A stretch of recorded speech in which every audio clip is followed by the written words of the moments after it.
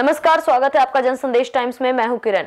जहाँ एक और सूबे के मुखिया योगी आदित्यनाथ महिलाओं के सम्मान और सुरक्षा को लेकर आए दिन नए नए कानून बनाकर अपराधियों पर शिकंजा कसने का पुरजोर प्रयास कर रहे हैं, वहीं उन्नाव ज़िले में महिलाओं की चीर हरण की ये तस्वीरें दिखने के बाद भी अपराधियों के खिलाफ कार्रवाई न करके उन्नाव पुलिस अपराधियों को संरक्षण देने के साथ साथ अपराध को बढ़ावा देने में कोई कसर नहीं छोड़ रही है।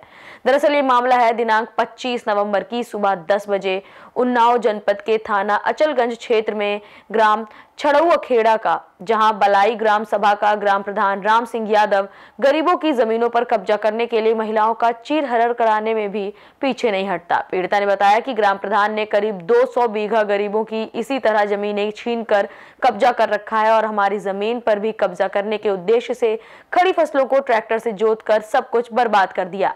उसने बताया कि जब उन्होंने इनका विरोध किया तो दबंगों ने उनके कपड़े फाड़कर अपमानित करते हुए उन्हें पीटा।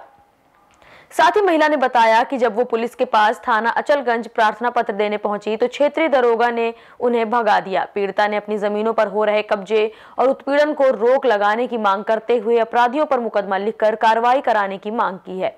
अब देखना यह होगा कि क्या पीड़िता को इंसाफ मिल पाएगा क्या दोषियों के खिलाफ कार्रवाई हो पाएगी। देखते हैं योगी सरकार किए गए वादों पर कितनी सफल होती है। और क्या हुआ तुम्हारे साथ? खेत में गए ट्रैक्टर चला तो रहा है। मने करे लिए गेन हमारे देवर की बहुरिया देवरानी हम हमारी बहू जाती रही हुआ मीटिंग में और हमका मारत रहा हमारे बहुरिया गए तो हम वो मारे लाग घसीट के कपिलवा मारे से।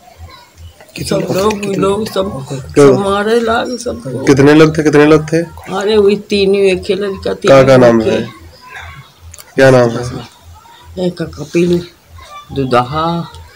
मैं जितेंद्र। हाँ जितेंद्र ना वैसे दुदहा दुदहा कहा था और? हाँ। छुटक्के का आपसे एक है का सचिन एक का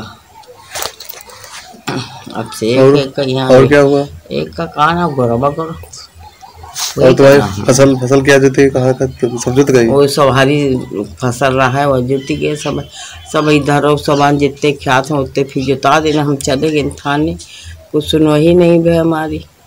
कुछ कगते नहीं दिखे नहीं। कोई सुनवाई नहीं हो रही है तुम्हारी? को हाँ, कुछ नहीं। कोई बहुत दिन हम बैठ रहे ये चोट कैसे लगी?